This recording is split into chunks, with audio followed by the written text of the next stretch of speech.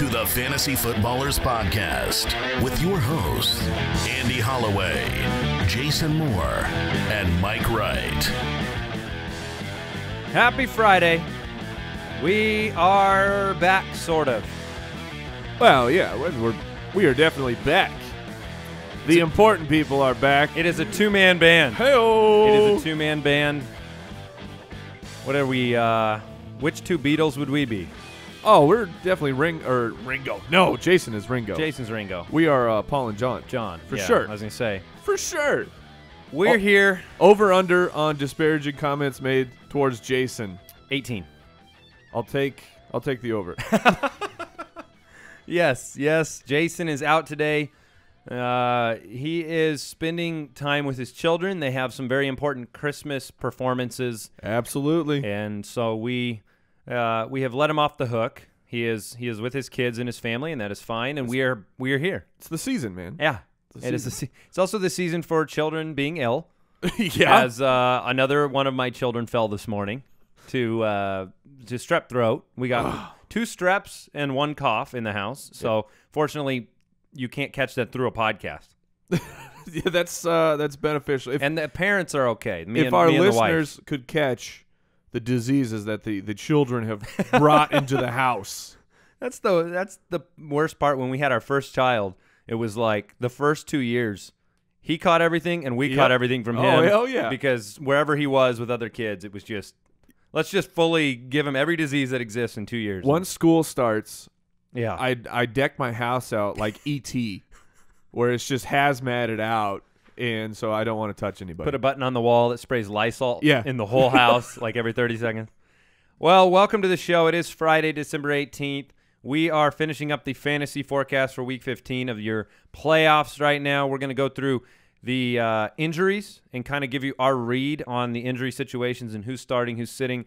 We will uh, have a, a little bit longer mailbag today, answering some playoff questions and some questions from the listeners and and try to get those out there for you. And then we, uh, I don't think Chris Meaney's going to join us on today's show.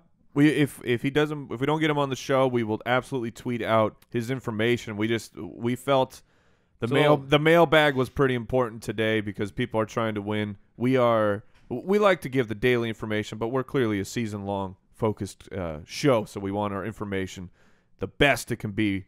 Uh, semifinals, man. It is Or big- semi- It is big time, and uh, Jason got Jason got a big game from Mike Evans last night against me. Yep. Yeah, I unfortunately, I mean, it's very rare when I don't see a primetime game. Last night, I did not get to watch that game live because I was with my children watching Star Wars. Sometimes you got to go to Star Wars. And so, no spoilers. Don't worry about that. No, that's Mike would probably run out of this room. I'd be doing the show by myself. that is that is accurate. But I've got a, I, I've got a good comparison for it, which should encourage people. It was a very good movie, very very good movie. Uh, LeBron and Michael Jordan. Oh, there we go. Okay, that's right. my comparison. I, All right, love I it. feel like some people, if if some people think LeBron's the best player in the world, then uh, what are you to argue with them, right? That's true. Uh, but if you like Jordan, that's okay. you they're got both, to They're both pretty good. You do got to be careful with the overhype though, because then then the people come in. no, I know. Or can I don't know? Can you overhype the new Star Wars movie? Probably not.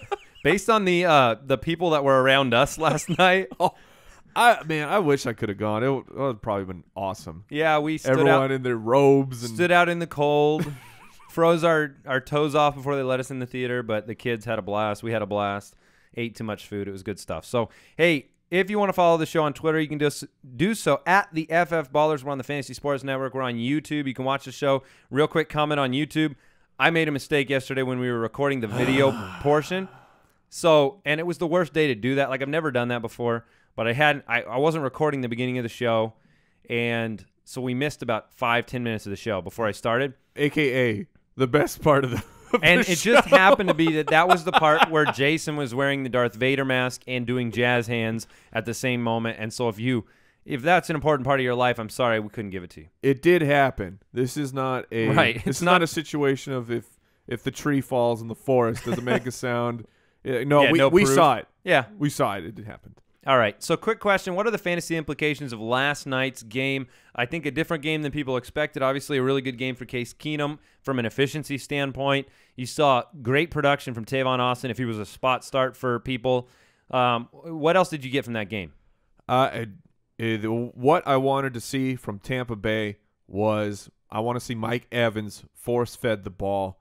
We got that. You did. And the a lot of the game, though, unfortunately, Jameis Winston was getting highly pressured, and you could see it in his body language and his demeanor of of overthrowing. Jason was uh, clearly watching very carefully because he has Mike Evans, but he's kept writing. He's like, "Wow, if Mike Evans were eight feet tall, then Jameis Winston would be having a great night." Yeah. because that's how badly he was overthrowing him. However, like Andy said, Evans monster game, so that just builds up a nice confidence moving forward to next week that he will get those targets. Hopefully, the line can hold up a little bit better. Aaron Donald from the Rams is a bad, bad man. My goodness, There were some J.J. Watt comparisons with him earlier in the week. he is awesome. Yeah. He had, now he didn't sack, he didn't register a sack, but whatever. He was he- Disruptive. He was a main cause of getting in Winston's head. Uh, and so to the Rams side, clearly we got to start Case Keenum moving forward. yeah, going forward. I One hope week. you- Championship week, Case Keenum. Hope you had that Keenum Britt stack. Austin last. Seferian, Austin Seferian-Jenkins. Oh, we know what he did. It don't matter. they count whether they're the first two minutes or the last two minutes. And you know, I I was uh, an advocate for streaming Seferian-Jenkins. He certainly didn't get force fed the ball. I expected everything that happened last night to happen, except for the fact that I thought he would pick up the Vincent Jackson slack. It wouldn't just be passes to Mike Evans that he could catch and couldn't catch. Yeah. Uh, and he made some. Great, Evans made some great catches for Yeah. for somebody who was maligned for drops. The Well, toe, he- the toe drag on this. I know he still. Oh, yeah. he still had a, a monster hands drop, but he he had some great plays as Yeah, well. some good plays, and he was playing. I, I think Tampa fans should be really encouraged, and fantasy owners for Jameis Winston in years to come because he's shown. I think that he has, um, what would you call it, like franchise QB uh, flashes throughout the season. Yeah, and I- an, and an ascending leadership type of. I, I I'm impressed with him. I am I am as well. I think he's going to be very good, which th- that's great news for the league and great news for fantasy. Absolutely. So let's get into the news. News and notes from around the league. All right, Sam Shields, the cornerback for the Green Bay Packers, is out again. There was some talk earlier in the week that he was starting, and so I want to uh, make some adjustments to some of the projections I gave out there for, especially Amari Cooper and Michael Crabtree.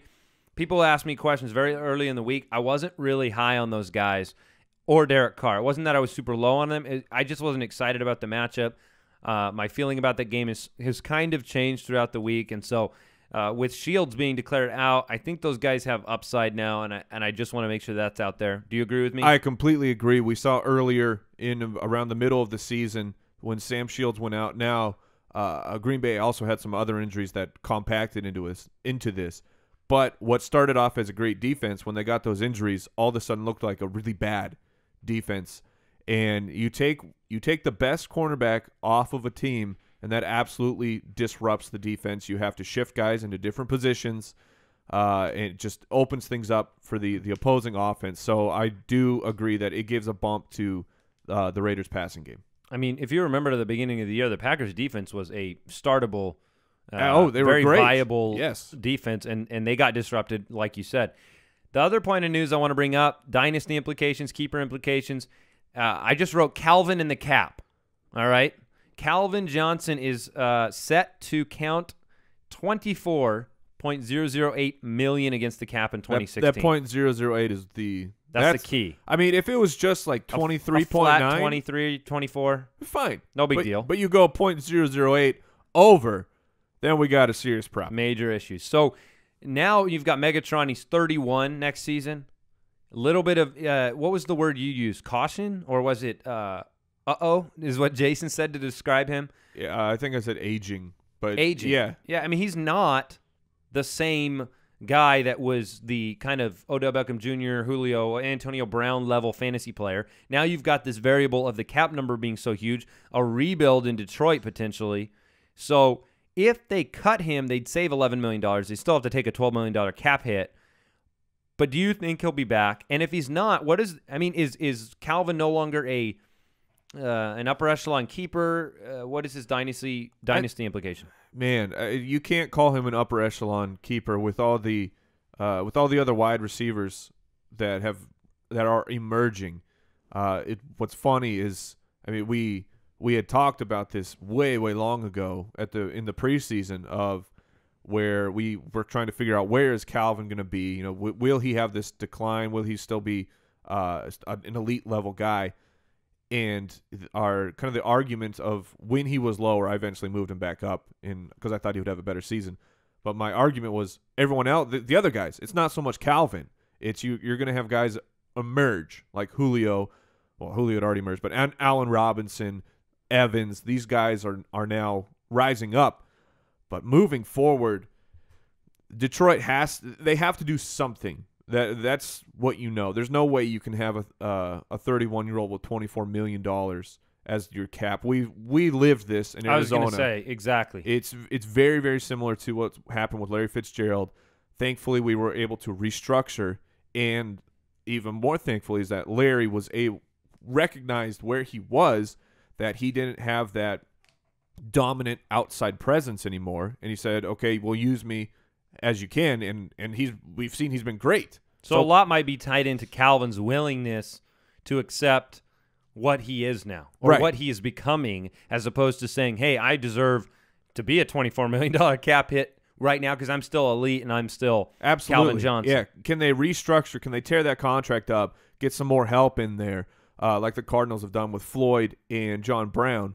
It, yeah. I think Calvin can still be great. So obviously something that we will be exhaustively looking at in the offseason, Absolutely. preseason, things like that. So uh, the big headlines today on Friday is basically injury reports and things like that. So we're going to go ahead and do in and out and get Mike and my. Uh, I'll chime in as well. Normally I let you guys do this, but I'll chime into what I think about these guys uh, as you open your uh, soda can. Lacroix. Oh, you're Lacroix. Yeah, here LaCroix. we go. What's it gonna be, McFly?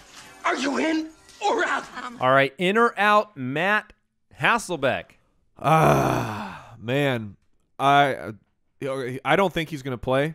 If he does play, it's going to take one shot, one to two shots, and you're going to knock him out. The guy, if you watched him play last week, every time he got hit to the ground, he was he was tapping out, man. He did not like in that moment. He said, "I, I don't want to get back up." He would because Hasselbeck's tough dude. I'm gonna say out but I I lean towards out, uh, which makes Houston's defense just all the more uh, incredible. Well, so, I, I, mean Whitehurst isn't a turnover guy, but as long as you're getting points for uh, for he's, opposing he's yardage, yeah. yardage and uh, offensive score, then he's right. gonna be great. Running backs in or out, C.J. Anderson.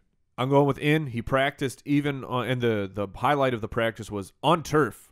So that which is rough on your feet and your ankles, so he's he's gonna be in. Here's a big one: T.J. Yeldon he's got to be out.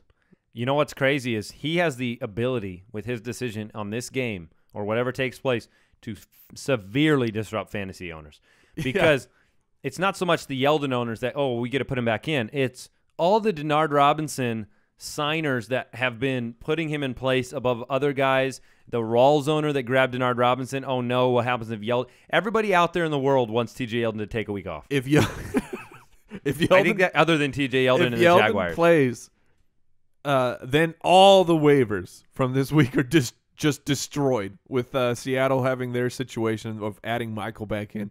Now, if we put Yeldon back in, all these options on Tuesday, Tuesday morning. With oh, how glorious we have! We have backup options. Everybody, do not panic.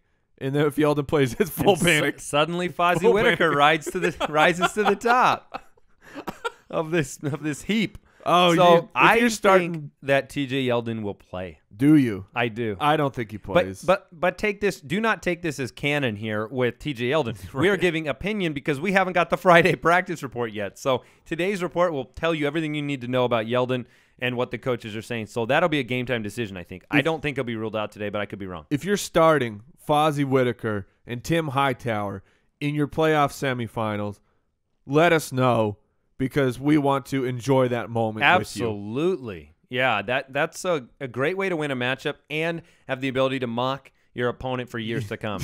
uh, Spencer Ware, in or out? Oh, I'm gonna go with. I, I think he's I think he'll play limited, Okay, Carlos Williams, in or out? probably out.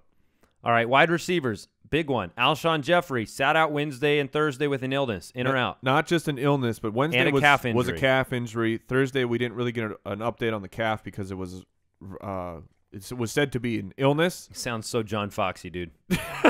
it sounds so Foxy. it sounds so John Foxy to say, here's what he does. So he's having calf problems. He also gets sick. We're just gonna say Thursday was all because of the sickness. Now that now the opposing team thinks Alshon Jeffery's fine. I've seen it before. I need I need somebody with tremendous video editing skills. Just put forth like a a funny montage of John Fox with Foxy Lady right, over right. the top. Not bad. That'll be tremendous. So I think uh, now I'm picturing, you know, John Fox going over, throwing some, you know, sneeze, some pepper under the nose of Alshon Jeffery, getting him to sneeze a few times, and you're out for an illness, and we don't, eh, we don't know. Eh, what we do know is this: Alshon Jeffery and his calf have been an issue all an issue all year round. Runs over with like a thermometer. Yeah, Alshon, you you look you look pale. he's like, he's like, uh, I'm fine. I got a sore calf or whatever. He's like, no, no, you don't get in bed. He's got the bubonic plague. yeah. So, uh, Monitor all Friday. humor aside, you're, you're most of you owners out there are going, shut up and tell me whether my superstar is going to play. And I don't blame you. And I actually think that uh, I'm concerned. So I'd have a backup plan in place. But if he if he starts, he is He's in. If Okay. he if he plays, you gotta play him. all right. Jarvis Landry, interesting case here. He was limited Wednesday. He was out Thursday. Possible regression there. What's up with Jarvis Landry? That is bad news. If to get downgraded to out on a Thursday, that's never something you want to see. If he can get in limited work today, or or it gets uh, labeled as limited because it's mostly a walkthrough and Yep. all those things, then I'll then I'll be okay. And Landry's the same thing. If he plays, uh, if he plays football, he plays for uh, fantasy football. All right, let's do these ones. Uh, in or out, Allen Hurns. in. All right, Julian Edelman. I think he's going to be out. Okay, I'm gonna say in on that one just to uh, so pay attention And there. and we disagree. Of you think if he's Yes, in, we do. We disagree on If that. you say if he's in, you're playing him. yes. And for me, if he's in, I'm not playing him. Now, eh, what's interesting there, and I don't want to linger too long, but I just want your comment. You had the same situation with with Amendola coming back, where Amendola was coming off the knee, and you were like, "Man, if he's if he's back, Right. I'm going to play him." Why isn't that the viewpoint here? Is it because Amendola's there as well? It's it's more the injury. The actual injury. It's the actual injury of it was his foot. He broke his foot, a bone in his foot. Edelman's entire game is shiftiness, quickness, and cutting. So I don't see a situation where he's gotten back this quickly. I mean, these this Wolverine type healing. If Edelman is to play this weekend and play an entire game, I would be very impressed. Not Right, saying it's right. impossible. No, and and that's good perspective. And the truth is, is for me, even though I think I would start him, if you have somebody in the same tier, why risk the injury component? I try to reduce my variables of failure in fantasy Right. football. There's so many variables of failure, anyways. I I just pull back from any that are like I can induce upon the player. And if you okay, let's compare him to say Gronk because I mean you got the same team, maybe they treat him the same way. Gronkowski played limited snaps. Yep. Now he happened to have a monster game because he had a touchdown and and two big catches. But if Edelman, and who's to say Edelman would play a full uh, second half if this game's put away for some reason? either. that's my concern. yeah. Uh, DeSean Jackson in or out? I think he's going to play. Donte Moncrief in or out? I'm going to say out, and this is what is important about Donte Moncrief. If you're trying to get sneaky and slippery, Phillip Dorsett is back. He is- 12, 14, 16 team leagues. he is cleared to play.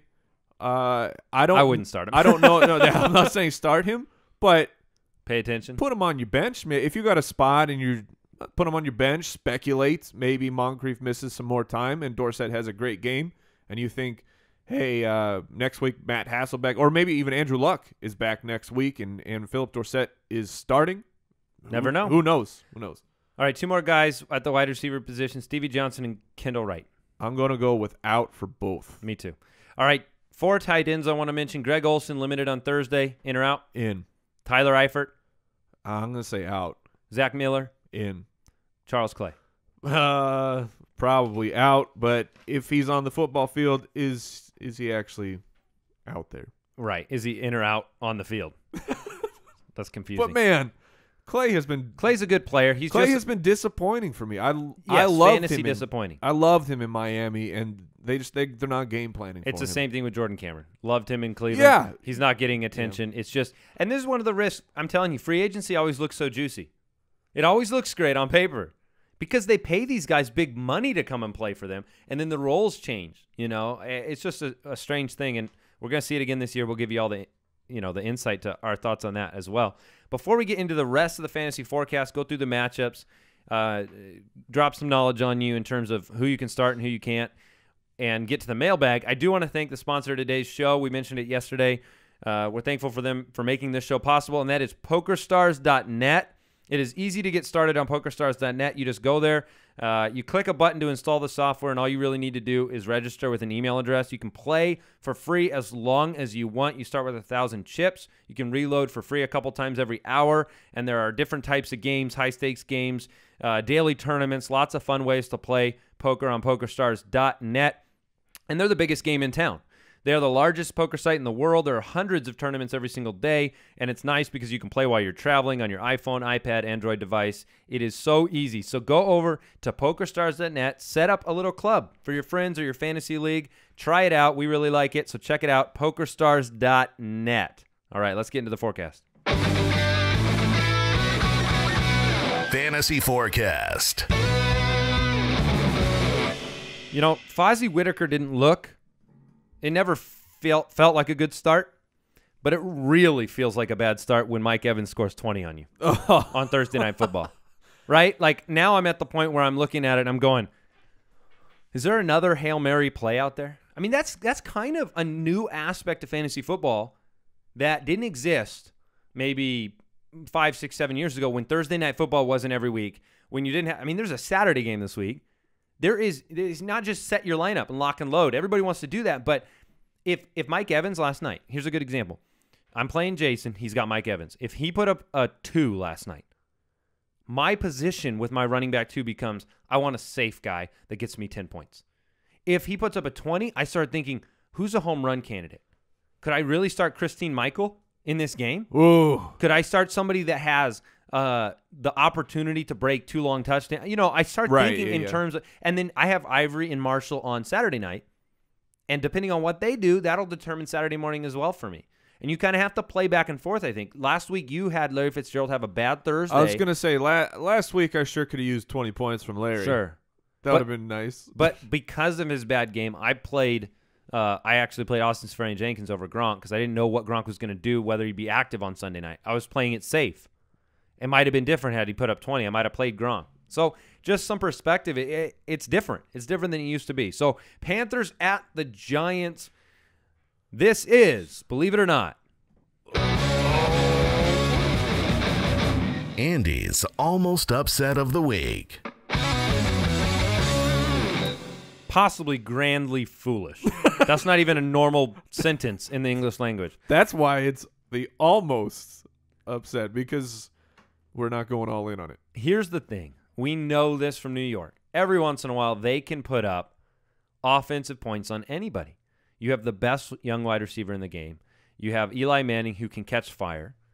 And you have variables with the Carolina Panthers right now with uh, an injured injured Jonathan Stewart, a possibly limited Greg Olsen, we don't know, going on the road. A very good defense. I'm not saying this is a, a shoe in, but I think it's possible. That's all I'm saying. I I I agree with you. I think it's possible. We saw the Panthers escape by the, the skin of their butt against against the uh, the Saints Uh, mean- and the Colts. and the Colts too. Uh, but I'm going I was going Saints recently. Of I mean, if you watch that game, the Panthers really should have lost that game. They but they didn't because they're a championship type team. So I I agree with you that it's very possible for uh, this to turn into a shootout. You saw Rueben Randle had a good game last week. Yeah, Rash- Rubes. Rashad Jennings had a good game last week, and Odell Beckham Jr. was insane last week. Did you see the quotes from Coughlin when when people were asking about Jennings if he was going to get that kind of carries? Yeah, what Or was he it? was he was saying, "Uh, Why do you guys care?" Why do you guys care about this?" But like, uh, Why don't you join my league, Tom? it's called uh, it's called a, a billion dollar industry. Tom, we pay your bills. Yeah, I, I'm, I'm always amazed that a head coach can be surprised the media wants to ask him a question. It's like how how do you get paid what you paid? How do you get seventy thousand people to come watch you in the stadium? Well, we do what we want to do, and you shouldn't know about it. Yeah, like, John we, Fox. we got a game going on here, Fox or not Fox, uh, Coughlin. we got we got to get it going. Ah, they probably hang out. All right, Cam, Cam Newton. He's a locked and loaded starter. yes, Uh, the running back situation in Carolina. If you had to just start a guy, is it Fozzie? it's Fozzie. All It's Oh. Fozzie because the coach has given the nod, Yeah, and and and that's all you got right now. in a week of scrambling and scraping for information, uh, any kind of speculation, that's all we've gotten so far from from anything uh, reported on Carolina is is Ron Rivera saying, "Well, Fozzie will start." I think if this game's put away for Carolina, you'll see a You'll lot of opportunities for C- Cameron Artis Payne. Yes. If it's not, there's a trust factor, pass protection, keep Newton healthy, different aspects that go into play there, Tolbert, things like that. Ted Ginn confidence. Uh, pretty solid this week. Pretty solid. I I think he's got a. Uh, I'll go thirty percent chance to have one of his Ted Ginn plays. Yeah, okay. So that that's good Which- because Ted Ginn's been doing that a little bit, and he's got a, a red hot, white hot quarterback. Let me ask you this: How many questions have you gotten on Twitter, uh, through our through the website, thefantasyfootballers.com, that have said, "Would you? Uh, what is your concern level with Odell Beckham Jr. against Josh Norman?" I've gotten a few. You have, Yeah. Okay, I have Now, not. I, I thought I would have some more, but I've gotten just How- a few of them. proportional to the Julio question. Oh, no, not even close. See, I haven't gotten any, and I think it's interesting because If people decided they made up their mind, I think "Whoa." people just said because Odell Beckham Jr. is coming into this game on fire. By the way, only we looked this up. Doug Baldwin and him, they're separated in our league by about five points over the last five games. Where Baldwin actually has outscored him because he got eight touchdowns to five for Odell Beckham Jr. But Beckham Jr. is now the number one receiver in most leagues in terms of fantasy points. Most receiving yards and most receptions ever in NFL history through 25 games for Odell Beckham Jr. 24 touchdowns in 25 games. He's good. Nobody's doubting it.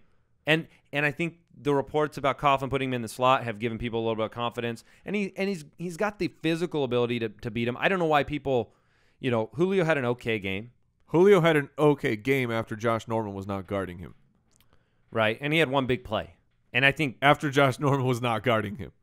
okay, So that, that's the difference. Is if they, if that this game's been, also at home. That other game was in Carolina. right, but I'm saying if if the Atlanta Carolina game was close and Norman had stayed in the whole time, I think Julio Jones would have ended up with two catches. I, th- I think it would have been really really bad. Uh, now the, the reports from the Giants are who who watched what happened when the the coaching staff of Atlanta said we're just gonna put Julio out there against Norman and not try and take advantage of matchups. Why would we do that? Uh, Coughlin saw that and said, you know, I, I think we're going to put Odell Beckham uh, in the slot some more because that's the smart thing to do. You Come know, on. yeah, the the Atlanta offense is just I don't even like to think about it anymore. It's so sad. Yeah, it's not good. So Eli Manning though. People want to know can you stream Eli Manning in this matchup? There Ah. seems to be a lot of optimism towards it compared to what you might expect against the team. Panthers are fourth in the league in run defense, fifth against the pass. Obviously, have been on fire as a defense, but people still want to start Eli. I Eli is not safe to me. Not safe. Not safe. Uh, we we were talking about could that could it turn into a shootout? The game flow could do that. Do I think that's going to happen? Uh, probability says no, and I would much rather start a guy like Ryan Fitzpatrick than Eli this week. All right, let's talk about that vaunted Falcons offense as they head to Jacksonville to take on the Jaguars. The Jaguars are favored by three and a half points in this game. The over/under in the game is 48, so we're expecting some points to be put on the on the scoreboard, which I I expect as well. You got Matt Ryan facing Blake Bortles. You've got the Devonta Freeman experiment that continues, and I have a lot to say about him. You got the Yeldon Denard Robinson situation in this game, and then you got Julio, who, you know, uh, hopefully Free Julio. Sure seems like this would be the game for it. Uh, and then you got Allen Robinson, Allen Hurns, and Julius Thomas on Free the other Robinson. side of the ball. Free everybody. Free. Well, that'd be all right. I think all the owners in this game would take a, a 50 point. Uh, the problem is the Falcons have only scored 29 points in their last three games total. Total? I believe that's is that two games or three games. That might be Oh. that might be two games, but still, Not Uh, good. yeah, it's it's been a rough and outing. it's what it's doing is it, everyone's starting Julio Jones. yes. You saw last week. I mean, I Norman or not, it doesn't matter. The the game flow, eleven points in our league, whatever it is. Even the worst of games is an okay game. It's you know like Antonio Brown against Denver this week. Everybody's still rolling him out there. That being said, what do Devonta Freeman owners do right now? Because you might have other options. Right. Uh, you better have a great option. Freeman in this situation isn't my favorite. The Jaguars have uh, have been a decent running. Twenty nine over the last three, by the way. That was accurate. Twenty nine points in the last rough. three games. The ja- the Jaguars have have been a pretty solid running defense, but talking about game flow, I I think this one turns into a shootout with it, where I actually have confidence that Matt Ryan is an okay play. Uh, before you go crazy with that, there's guys I'd rather play over him, but we've seen uh, recently the the Jags get into a lot of these matchups where it's just going back and forth and who can score more points.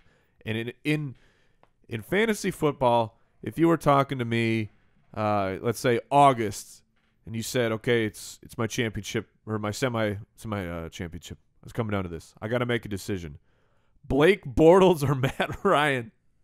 You wouldn't have even comprehended the question. My brain would have exploded.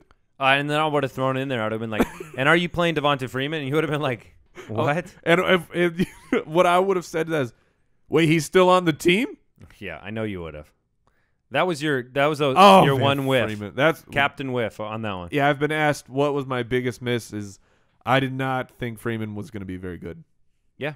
So, but we're here, and Freeman has let people down a little bit with the offensive uh, failures, and people are seeing Carolina next week, and they're saying to themselves, "What do I do?" Because Devonta Freeman, do I trust him, or would I rather play David Johnson? The the thing with Freeman is, uh, what he was doing in the middle of the year was historic pace of scoring touchdowns. I mean, you Which, yeah, you that has to regress at some point. You can't stay on that kind of a tear, which is kind of a that warning flag for Doug Baldwin, where he's on a historic type you cannot tear. score 45 rushing touchdowns in a season. You It's just- cannot score 45 passing touchdowns in a Right, season. Right. It's just it's not going to happen. So now you're getting that that you got that touchdown regression, and you've seen it, what Freeman can do, and in half point and full point PPR, he's still been good. He just isn't winning you the week every when he had that stretch. When a guy has games like that, though, the name gets associated with those games, and so now you start looking at it, and and if you bench him, you start saying, "Am I benching forty points? Am I benching thirty Right. points?" Because you think in the context of those games. So that's the hard part. And we'll, we have a question I think in the mailbag that deals with it, so I won't linger there too long. But Allen Hurns, are you feeling confident about him? Yes, Allen Robinson had a weird game last week, one catch. one catch for one touchdown. They scored fifty points. He had one catch for a touchdown. Yeah, yeah, it was it was a tough outing for Allen Robinson. But we People- do like we do like Denard if Yeldon's out. absolutely. Yeah, and we Vol- like Bortles. Yep, Okay. I, I like all the I like all the Jags. I like this game because I, I the 48 I'm I would take the over. That's that's not my uh, level of expertise to to tell you. I'm not advising you you take that to the bookie. Sure. Sure. But but that's where I would go. All right, the Packers head to Oakland, take on the Raiders.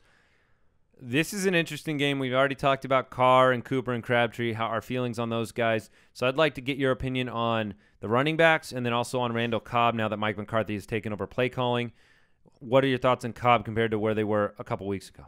Uh, on Cobb, uh, you got to have a, a rebuilt confidence that uh, McCarthy came out and he said, "Okay, I'm calling the plays," and there was an instant change in level of production for Cobb. I believe he had eight catches last week. He did. which that's what you need for Randall Cobb. He's you if if you expect For expect that baseline. if you then with a chance for a touchdown or if you expect a touchdown from Randall Cobb, you're you're not really looking at what Randall Cobb is good at, and he what he is great at doing is giving you a high volume of catches with an opportunity to score a touchdown because he plays for the Packers. So now that now that McCarthy's because the the transformation was instantaneous, that gives me a great level of confidence moving forward. The same with Lacy, where it has transformed. Unfortunately for Lacy owners, they are splitting that time. They're splitting the carries and snaps between Starks and Lacy, so Lacy can't just have the one of one of those unbelievable weeks where he's going to win you the game. I, I take that back. He could still do that on his limited work. It's just unlikely where uh, where last year at this time Lacy was just destroying. Well, I was just saying, and if he keeps having success like he's having, he might those carries Yeah, might that- lean his direction more true, too. But true. you did see Stark succeed with smaller carry counts again last week. So I guess that would be a question. Would you ever would you flex Starks in this game? yes, Okay. yes. Uh, the Raiders defense, however, is only given up 3.0 yards per carry since getting blown up by Adrian Peterson earlier in the year.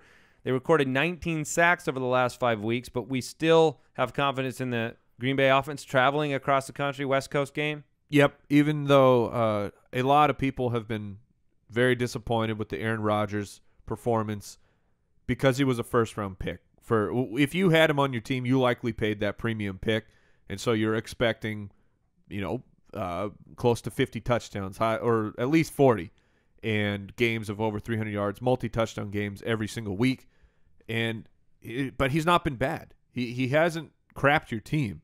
Uh, He almost did in that Lions game, but he saved you with that with the the hail mary. So he's still a very safe play. I'm not uh I'm not starting other guys over Rodgers. He's he's still a, a an elite top uh in top five guy for me. I agree with you. All right, so the Browns head up to Seattle for uh, for a good time. Do you think the Browns are gonna have a good time? Yeah, they're heading up there for a good time. heading up to Seattle for a good old time because you want to play Russell Wilson right now, Uh, and you certainly want your head coach to come out and say that you Oh, don't what are you doing? that you don't think Russell Wilson's an elite quarterback because that's not a motivating comment. I mean, uh, Browns. I hope you take in the fish market and the Space Needle. You know, get some bang for your buck on this trip. Seriously. In I've- fact, if you don't show up for the stadium, it might not be much different. I've I've never been to Seattle. It's one of those places that I've always wanted to go. So for me, enjoy it. You know, see the sights. Yeah, enjoy your time there because you're not going to enjoy it in the stadium. this is going to be trouble. There's nobody who's playing at a higher level right now. Yes, the matches have been have been cakewalks right now for Seattle, but uh, this is going to be trouble. The when we put the uh the line in into our our doc here, the Seahawks it could have changed, but they at the time they were favored by 14 and a half points over two touchdowns. You don't see that a lot. No. no So- not at all. So Russell Wilson, you are our sit of the week. Obviously, we've said that our honorary sit of the week. So continue. He's had a perfect passer rating when they've gone empty set with four wide. Russell Wilson is just gnarly. five wide. Gnarly right now. It's just incredible. And the Seattle defense, the only thing that really worked great for Cleveland last week was Isaiah Crow actually ran the ball well. Seattle defense gives up about 44 yards a game on the ground. I mean, it's just uh, it's not a, a pretty picture there. You lost Hartline for the season, who was actually productive. Uh, you lost him. He's gone. You can't start. So the question for a lot of people is Barnidge, right? Like, is it Barnidge or Kelce? Is it Barnidge or Gates? Is it Barnidge. yeah, Barnidge, Barnidge. So, uh, what are your thoughts on Barnidge? Because I'm I'm fading on him. I know Seattle's been not that great against tight ends, but it's a different Seattle defense right now than it was earlier in the year. I still like him. I think that he will get enough targets that he'll give you a, a, a decent outing. I think he's safe. Where I don't his potential to have a monster game like he's been having throughout the year, probably on the lower scale of the probability, but he's he's still a safe guy. So when you're saying you're fading on him, who what level of guy are you looking to play? Travis over? Kelce. You'd play Kelce over I think, Barnidge. I'd, I think I'd play Kelce over uh, over Barnidge this okay. week because I like b- playing against Baltimore and having kind of the upside of that equation. I just feel like uh, I feel- Baltimore because the you feel like the offense for Baltimore is so bad. Well, more so that the uh, the yeah, because the offense is so bad. The Chiefs will have the ball. They're at home. The Chiefs have a lot of you know. You saw Russell Wilson score five touchdowns against the the the Ravens last week. Uh, the upside to me for Barnidge, like you said, his potential to score is very low to me in this game, and so you need you know maybe he gives you a Jason Witten like performance. So are you are we Um, talking to the point of you would grab one of these lower streamer guys like a uh, a Ty, a Rudolph, a Richard Rogers? No, no, no. Okay, you're no, still no. okay. Hold your horses. No, I I'm would- trying to find No, the that's fine. I wouldn't do that. the level. But I, I'm bumping him down. I'm going to bump Barnidge down a little bit. Like I would, I would feel fine playing Julius Thomas over Gary Barnidge. Okay, uh, maybe Ben Watson. That would be, but it, I, mean, I know Barnidge is delivered for most teams, and you don't have that option. So, uh, the other thing I just want to say, you're starting Doug Baldwin. Are you starting Tyler Lockett?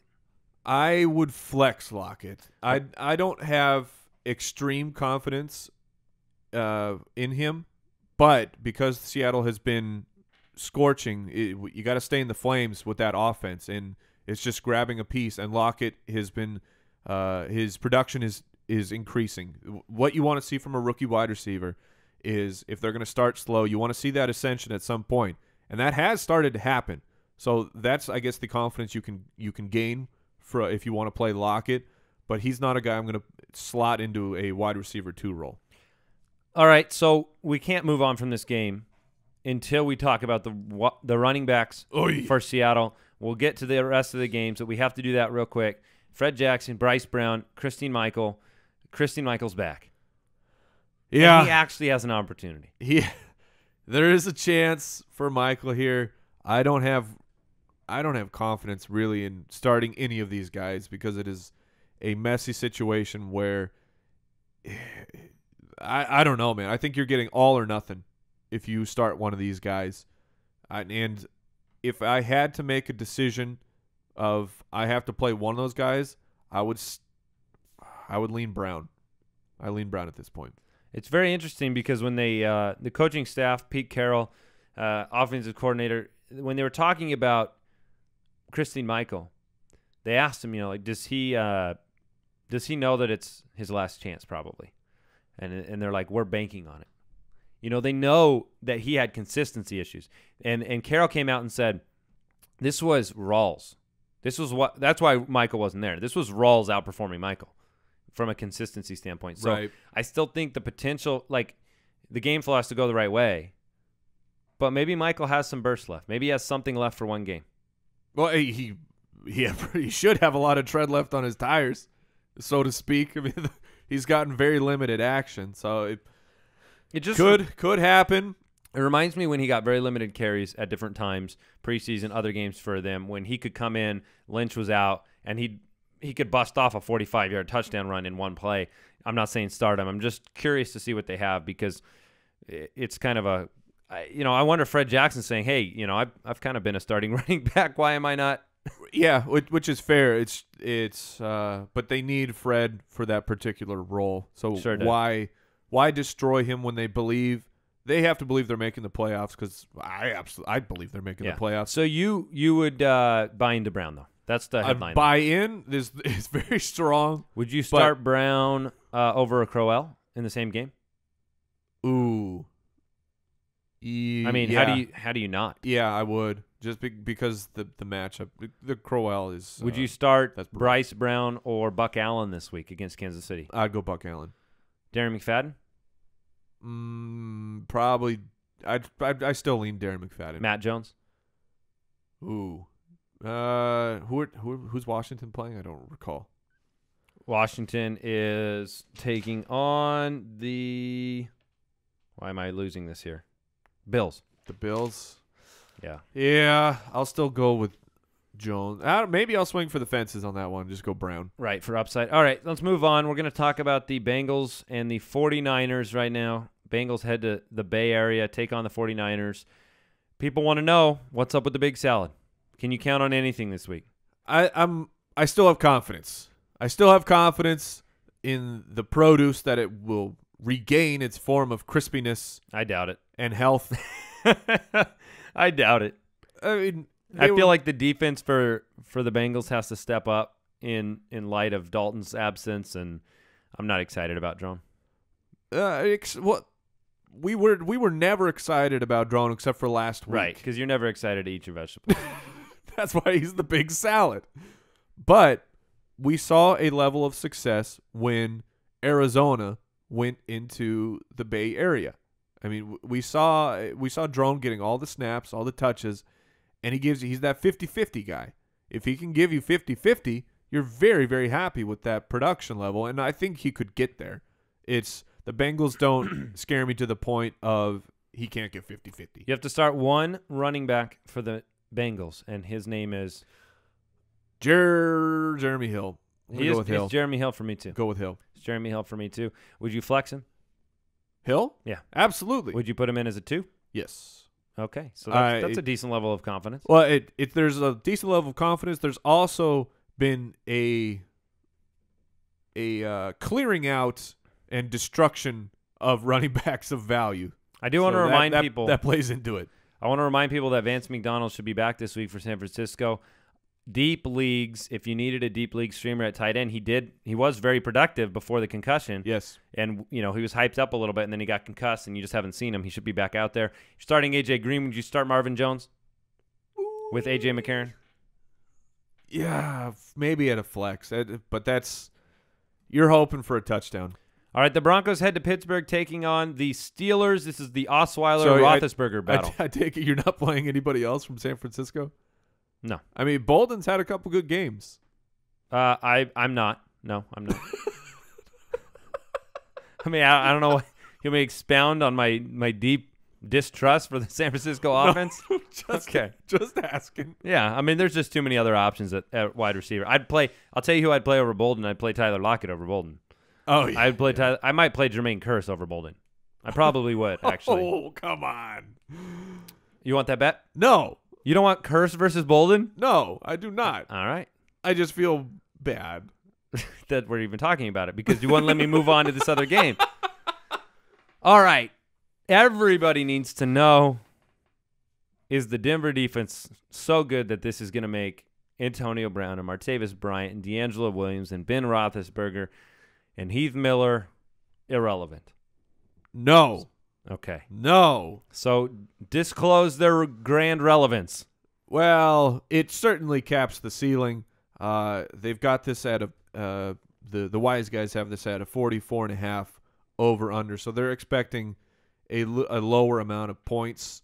The Steelers are decently favored, uh, so if you, you take the implied point total for the Steelers, then then you're okay.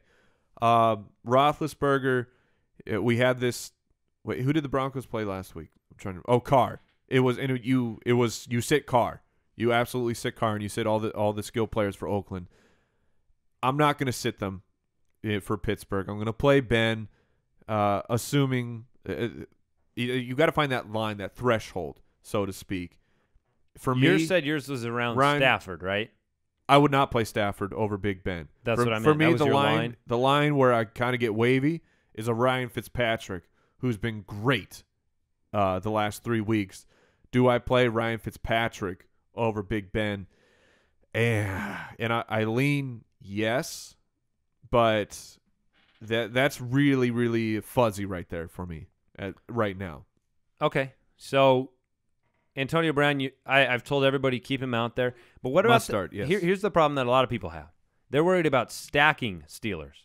They're worried about okay, I've got Brown and Bryant, or I've got D. Will and Antonio Brown. So are as you as an owner, do you hedge your bets to where okay, if Denver came out and gave a dominating defensive performance, would you want two Steelers out there or not? Like, because how many Right. people are sitting? Would you sit? Let's say you had DeAngelo Williams and Antonio Brown and you have the option of putting Denard Robinson out there instead of DeAngelo Ooh. Williams, That's a or or Allen Hurns out there instead of Antonio Brown. Brown. Brown is the the Denard Robinson one. By the way, Yeldon is one. officially doubtful. We'll just presume him out okay. for Eh, this conversation. the Robinson, that's a tough one. If I'm try, if I if I'm going with Brown and DeAngelo Williams and Denard Robinson is an option where you can kind of uh, not overcommit to that Well, offense. that, that that's the question. Can you I can would you still- protect yourself? I would still go with both of uh, both of the Steelers though. Okay.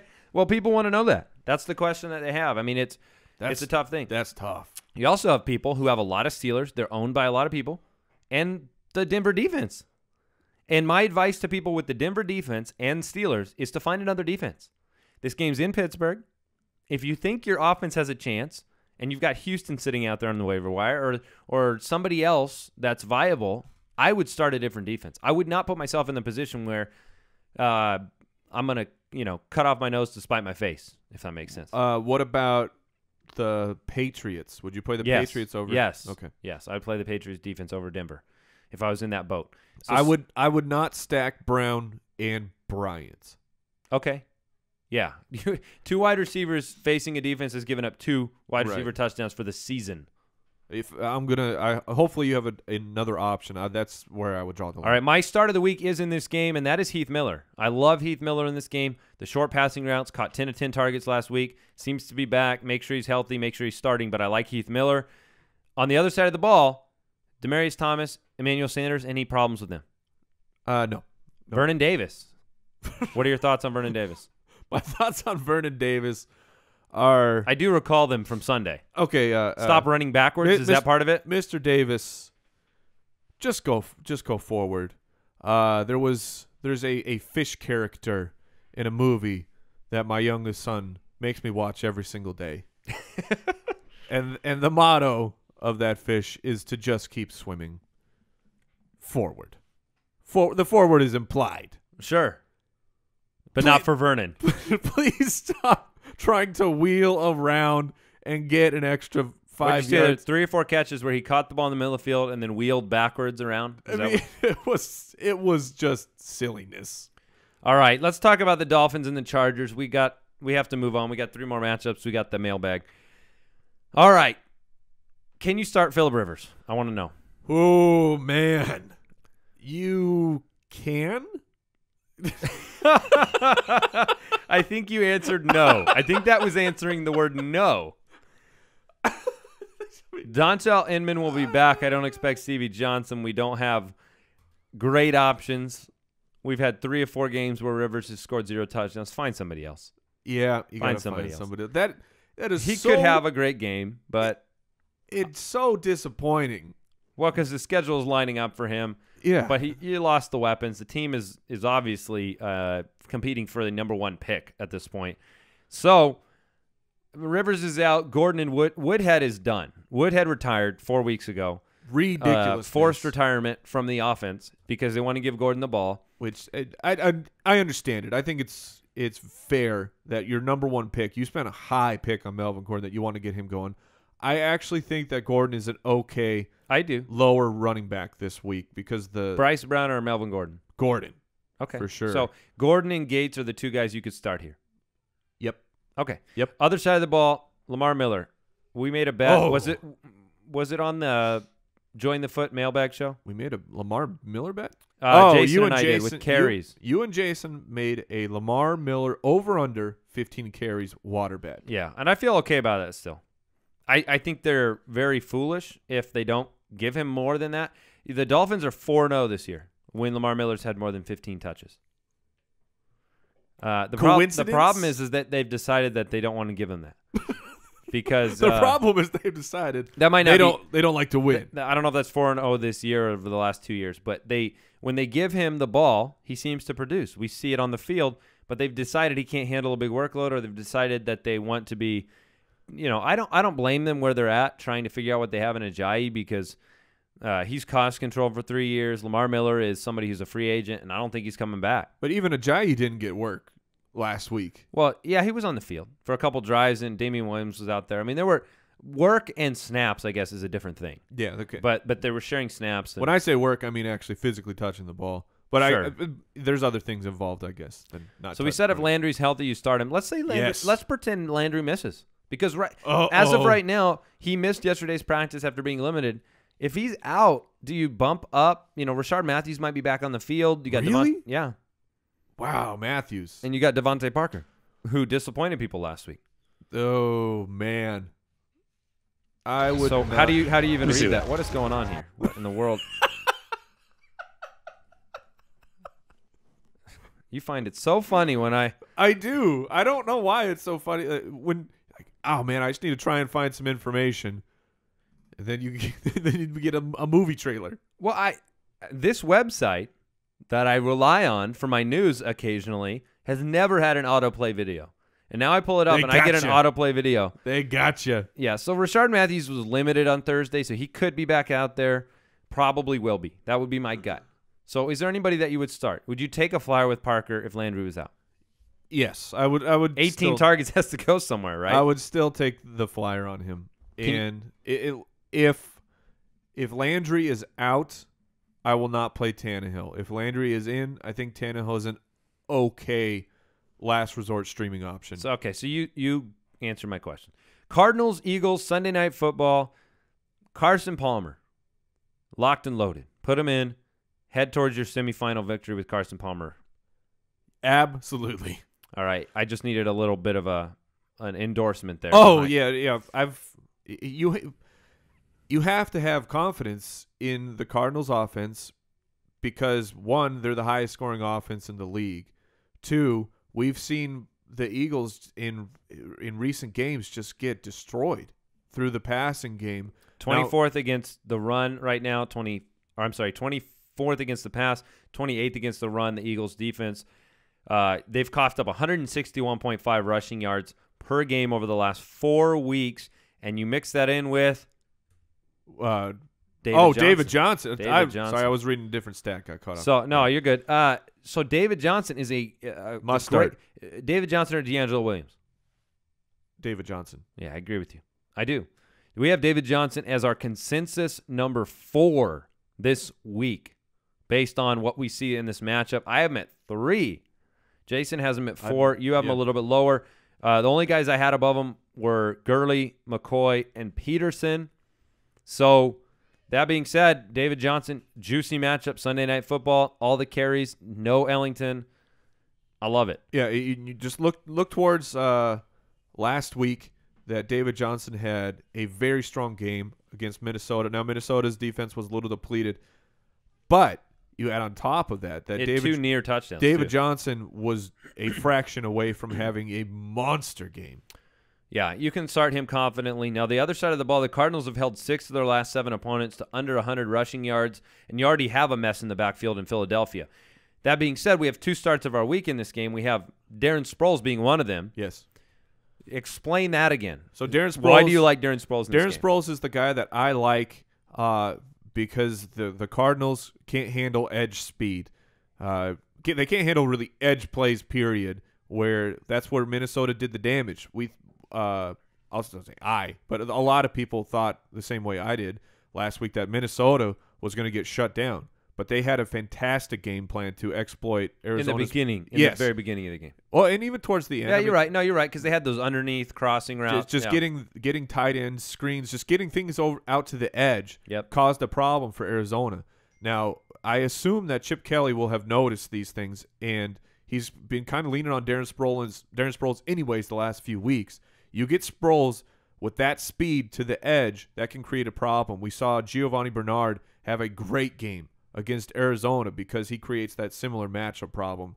So it, it now when I say he's my start of the week, uh, he's still a little bit lower in the rankings. He just the upside is tremendous for Sproles. It's not like I'm saying. Uh, let me let me pull up my rankings here. I'm not saying you know, uh, like Jeremy. We were just talking about Jeremy Hill, a guy I like. Am I saying play Sproles over Jeremy Hill? No, I'm not going that level. Just saying that uh, that Sproles in your flex is a is a great upside guy to have in that in that position. As long as you have a, a nice foundation, then Sproles is a great play for you. I agree with you. I agree with you. He's got he's got opportunity in that offense, and he catches the ball really helpful in PPR leagues. Really like the other start of the week is Michael Floyd. Love Michael Floyd. Yeah. Arians came out yesterday. Said Floyd's playing at an elite level, just affirming what our eyeballs already told us about Michael Floyd. Love him this week, starting him over a lot of guys this week. That being said, roll out the entire offensive force for the uh, for the Cardinals Yeah. because you don't know necessarily. You saw it last week. Brown, 65 yard touchdown. Floyd had a long touchdown. Fitzgerald had a disappointing game. He hasn't been in the end zone lately. He's the guy at the bottom of that list for me, but I still think he has the opportunity.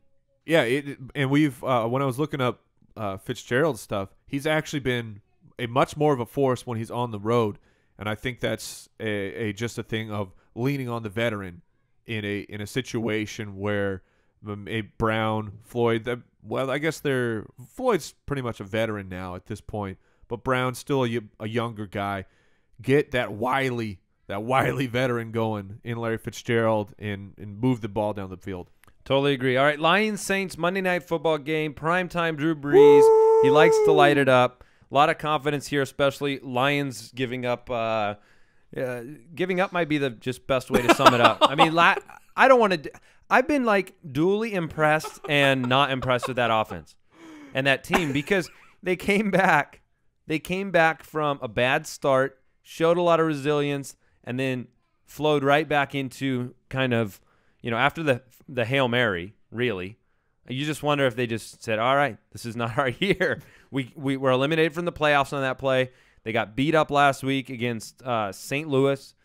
So Which we saw St. Louis beat up the Tampa Bay Bucks pretty bad. So that's my yeah, I know, and they're they're such an enigmatic team as well. yeah, they're very up and down. They they beat the Cardinals this year. The Cardinals have two losses. One of them was to, to St. Louis. So Drew Brees, love him. Hightower, love him. 28 carries. A guy, the volume, the reliance on him. They don't have a lot to lose leaning on him. It's not like he's getting worn down from not playing in the last five years. Yeah, that's that's a that's a valid point of because I'm thinking, do they want to do that again where they just give Hightower an extreme volume? Now a lot of that was game flow where they were uh, running out of clock, but They might be doing that again. they have nothing to lose by letting Hightower do that. Uh, you just run him into the ground, and for Hightower, it's even better for you know let me let me have a chance here so I can see if I can uh, stay in the league a couple more years. I- I don't want to. One of the things I've always said, especially over the last few weeks, is don't overplay the matchup. Play play the talent. You you need to pay attention to the matchup. Just don't overplay it. Don't don't just say, okay, Stafford's playing the Saints. The Saints suck, so Stafford's a locked and loaded number one. I know some people like him a lot this week. I'm not of that. I don't believe that. Really? I don't. Do you? I, I put him at the end of the one category okay, because so you of still the matchup. like him. Yes, but I don't think he's got as much. Uh, yes, he has upside, but I just don't. I don't think he's as safe as people think he is in this matchup. The Saints over the last four weeks haven't been exactly. Uh, they haven't been giving it up to the wide receiver Calvin Johnson uh, to the same degree that they had been, and this is a primetime game at home for the Saints defense. They've they've improved on certain levels. I just don't think it's an automatic thing. We saw Megatron struggle last week. You have to start him in this matchup. I get Yes, that. yes, yes. You're not sitting Megatron down, but do you, you know Golden Tate's a guy. I love Target numbers have been there. I'm I okay love with him. Golden Tate. Nine catches, eight catches, seven, eight. So do you- That's his last four weeks. Do you agree with me or do you disagree? I I agree with you that. what are your What's your feeling about the Saints defense right now? I know they're not anywhere near the top of the league, but I, I agree with you in the fact that I have Stafford as a lower one. I'm not. It's not like the week of uh, Kirk Cousins where they were in the midst of, R- of Rob Ryan. of of meltdown where he said, "Okay, Kirk Cousins, he's the next man up," and he he ignited them with four touchdowns.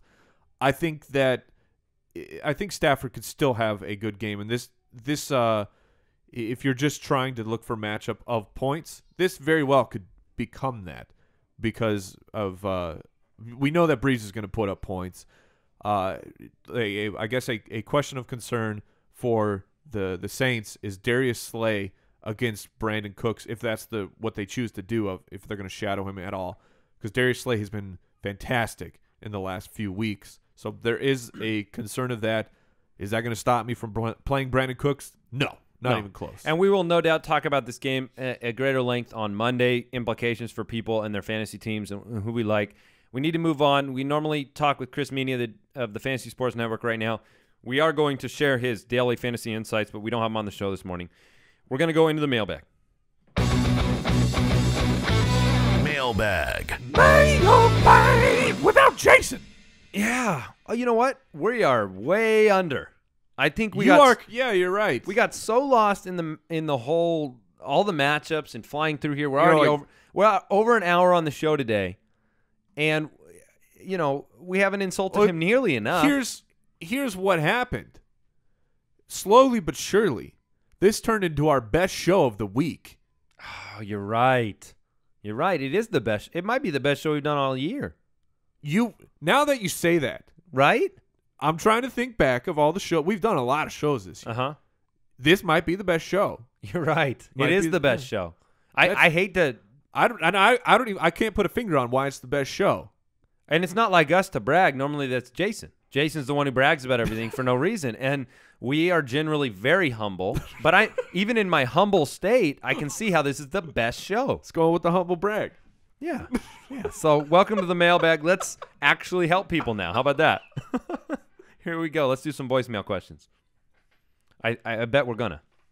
Hey guys, it's Alexa in Tampa. Hoping you guys can help me get to the finals. a big playoff matchup this week for me. Oh yeah. Need to know with Dalton's injury, who do I start? Kirk Cousins at home against the Bills or Tyrod Taylor on the road in Washington? Please help me get to the finals. Love you guys so much. Thanks. Bye. That is a great question. That is a great That's question. a great question, and I I have my answer, but I uh, do you want me to let you know who I? I'm going with Tyrod Taylor in this one. Then it's unanimous. I know that uh, I do talk about uh, Washington is a much better team on the road, but Tyrod Taylor and Sammy Watkins are really getting it going. Uh, and it's so is Shady McCoy. So I think that the offense of the Bills as a whole will be a little bit too much for Washington to handle over the course of the game, and I expect Taylor to uh, have at least a couple touchdowns. I'm with you, and and with D Jax's injury versus Watkins' ascension over there, Yeah, that's it great. Kind of leans me that direction. and Kirk Cousins, who uh, maybe the, careful, careful. This take is a little hot. Kirk Cousins has actually been pretty good this year. Uh, like that? you like that? Uh, it was it was pretty disastrous at the beginning of the year, but his play has improved. However, I believe he only has two multi-touchdown games through the air. He's ran in a few in, so that that helped him out. But as far as passing touchdowns, So we only like two multi games. So we like Taylor. yes. Go with Taylor. All right. Here's another question. Hey guys, it's Brian in Washington. I love the show, but I have a quarterback quandary. I had Andrew Luck and Brian Hoyer, who are both beat to hell, as Chuck Pagano would say. Crap, And my crap. team is stacked otherwise, but as far as waiver QBs go, uh, it's a bunch of steaming duties left on the free agents. So who do I pick up on this list? Uh, which of these turds will flush down the easiest? Uh, Jay Cutler, who kind of worries me because I also have Forte. So what if Chicago stinks? But uh, Jay Cutler, Jameis Winston, T.J. Yates, A.J. McCarron, or Kirk Cousins. So I'll take my call off the air uh, since I'm assuming that's the only option. okay, thanks.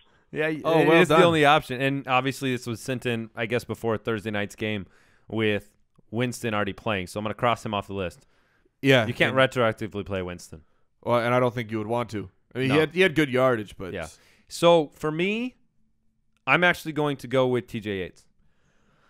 Yeah, it's With uh, if you'd rather, if you feel more comfortable, you want to hedge against Chicago stinking and not play Cutler. I'm okay with Yates. and and for for Cutler, a big portion of that is Alshon Jeffery. Absolutely. is, Alshon Jeffery good to go? if, if- he was, would you play Cutler over Yates? Yes, Okay. Uh, yes. I'm going to Against still say Yates. against a banged up Minnesota defense, I would still go with uh, I would go with Cutler. But if there's any concern over Alshon, yeah, I mean Yates. that's I know, but listen, what do we say? The Colts have given up not. You have to Yeah. pay attention to the trend. Ninety-six points given up by the Colts. Might be Whitehurst. Might be a beat up Matt Hasselbeck.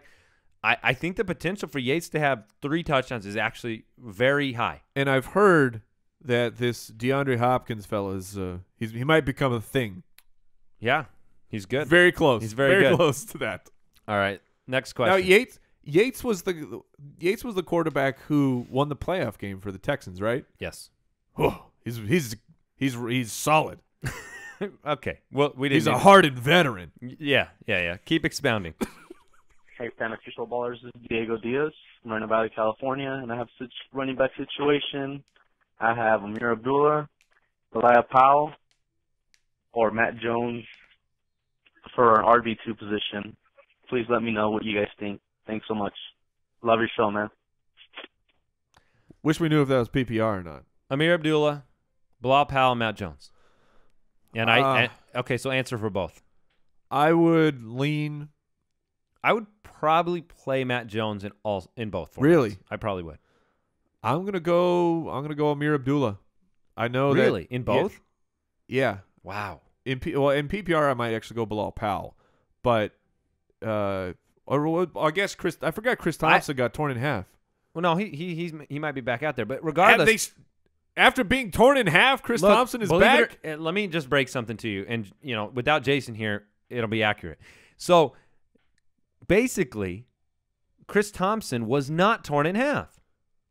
Wait, Yeah, wait, yeah, wait. he, his he's actually whole. Jason Jason gave He me the he had- assumption that he was torn in half. He said he had a huge tear. Yeah, well, I assume that means you're torn in half. No, no, no, no, no. He's actually fine. He'll be okay. Torn labrum might play regardless. Buffalo's not been as good against the run statistically as you think they are. The game's in Washington. I'm taking Matt Jones. I would go. I'm going to go Abdullah. The uh, the Saints. Uh, we've talked about their defense. They're they're with the passing defense being a l- slightly better, but the run defense is still bad. So All right. All right. Let's let's get to the next one. Hey, fantasy footballers. Uh, I just want to thank you guys for uh, getting me to an 11 and 2 season. Oh yeah. Uh, I thank you guys, and I also a debt of gratitude to Devonta Freeman, who I am having some mixed feelings about. I mean, I've got he got me to the playoffs, and now I feel like I can't trust him going up against the Carolina defense if I do make it to Week 16. Who would you guys feel comfortable playing over Devonta Freeman? I just picked up Tim Hightower, and I also have Matt Forte, a couple other people off the waiver wire. But let me know who you guys, who you think you would feel comfortable playing over Devonta Freeman at this point. Thank you. This week, Ooh. this Ne- week I'm okay with Freeman. me too. I'm But perfectly fine with Freeman. Uh, moving into championship week. I'd play both those guys over him in championship week. Yeah, I, I can. I'd play Hightower and Forte. I now, if see that. Hightower poops the bed this week, uh, then it totally changes the equation. And Forte, if he do, if either of those guys doesn't look good this week, then I probably stick with Freeman. And uh, Jason had brought this point up yesterday, where and we took a, a deeper that? look. The this guy, All right, this Jason. guy, uh, of of Forte's splitting situation. Of it, it was very, it was right down the middle, and Langford actually out targeted Matt Forte. So pay attention to that this week, where Chicago could be, you know, they have they don't have anything to play for this year. The, do they want to get a better look at the rookie Matt Forte on a, on an expiring contract? Are they going to bring him back, or are they just going to move forward with the rookie? Where for Hightower, he gets to take on Jacksonville, which we've talked about. Their running defense is okay, but with uh, with Drew Brees in there, why you why you like a guy like Hightower? Your probability for a goal line carry is pretty solid when Drew Brees is your quarterback. You, there's going to be points put on the board. It's can you get him from the running back? So, assuming that everyone that that Hightower has a good game this week, I'm more than likely going to roll him out in championship week over Freeman against the Panthers because that is just that's rough. I, I think what we said earlier, you can't just assume Devonta Freeman is going to be what he was for those power weeks. You can't do it right now. I know it's hard to swallow, but play the guy that's going to win you the game. You yeah, know? I mean, It's just too hard for me to make him an auto elite the way the offense is playing. 29 points in three weeks does not a lot of opportunities on the goal line make. thanks, I think I said words. Pat in Indiana, I can't believe I'm actually having to debate this. I thought I would go all year without using him due to injury, waiver wire availability, and Frank Gore's performance. I have to now debate Frank Gore or Melvin Gordon. Ooh, half point PPR. Half point PPR. Help me, says Pat. Ah, I might go Melvin Gordon here. Uh, what was? Well, I don't know. Melvin Gordon? You would go Gordon? I think I'd go Melvin Gordon here. All right. I would. Oh my gosh. Yeah, that's insane. They both feel like they have the most oppressive ceiling atop them as they can. Like neither guy has the potential to be great this week. I, I'll just play Gore. That's just play stay safer. Yeah. Yeah, Vincent in Rhode Island. Hey guys, big fan Randall Cobb or Julian Edelman this week. Randall Cobb. Cobb. Either way. I agree. Kyle and Charlotte, Russell Wilson or Carson Palmer. Stay in the flames or go with the guy who's been steady all year round. We had this debate in the studio yesterday. Russell Wilson. Russell, Russell Wilson. Yeah, Russell Wilson. I got those guys at one and two. Yeah. So uh, I, I have Wilson at one. like, Let me give you a number 16. ooh, 16 touchdowns in four weeks. I'm going to go with Russell Wilson. He's playing Cleveland at home. I, the funny thing about that argument is He's the only guy I would start over Carson Over Palmer, Palmer? this week it, it, with of, with that kind of confidence. of that argument. You say you're like, wow, how can you not play him? And then at the same time, you think, because that's impossible for him to continue to do that It may be impossible, but you're playing Cleveland at home this week. with a lack of running game uh, or potential lack and a perfect game. passer rating when you empty the backfield. You got you got to go with Russell Wilson. I just you stay in the flames because not only does I think Russell do, does anybody think Russell poops the bed this week? no. That is the thing. If if that was a potential problem, you could just say stay with Palmer. But I don't think he poops the bed. And what is he? What is his upside? It's been five touchdowns for a couple weeks in a row. His upside might be seven touchdowns. All right, this is the uh, both the best and longest show we've done in a while. So we're gonna wrap it up. We're done. Oh man, I had at least Good luck this week. I We're had five minutes left. Hey, pay attention on Twitter. We'll keep the keep you updated at the FF Ballers with all the injury reports, everything you need to know. See you on Monday. Goodbye. Thank you for listening to another edition of the Fantasy Footballers Podcast. Don't forget to visit us on the web at www.thefantasyfootballers.com and follow us on Twitter at the FF Ballers.